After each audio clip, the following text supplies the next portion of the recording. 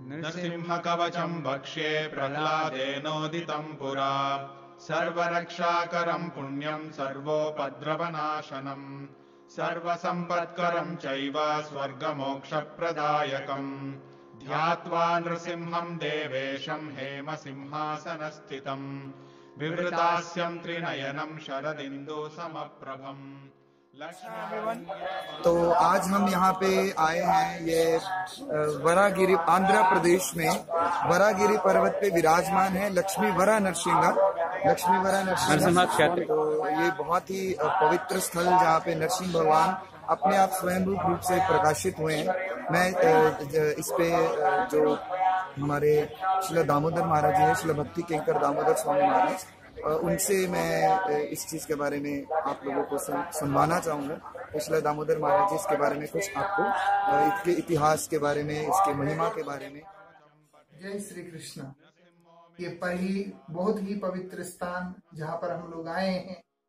भगवान नरसिंह देव का एक अद्भुत रूप, जिस रूप के अंदर श्री वराहदेव और नरसिंह देव का संगम यहाँ पर दर्शन करने को मिलता है।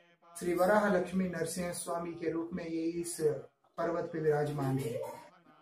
इतिहास के अनुसार जब हिरण्यकशिपु का वध करके भगवान उग्र रूप से चलने लगे तो प्रहलाद महाराज उनको शांत करने के बाद उन्होंने अपनी इच्छा प्रकट किया कि प्रभु, मुझे आपका वराह रूप और नरसिंह रूप का सम्मिलित रूप में दर्शन की अभिलाषा है तो उनकी इच्छा को पूर्ति करने के लिए भगवान ने यहाँ पर इस रूप को ग्रहण किया। और साथ ही ये विग्रह के रूप में यहाँ पर प्रकाशित हुए ये स्थान का प्रकाश स्वयं स्वर्गलोक की अप्सरा, नारायण की अंश स्वरूपा उर्वशी के द्वारा प्रकाशित है। एक समय उर्वशी और पुरुरवा पुष्प विमान से इसी स्थान के ऊपर से गुजर रहे थे।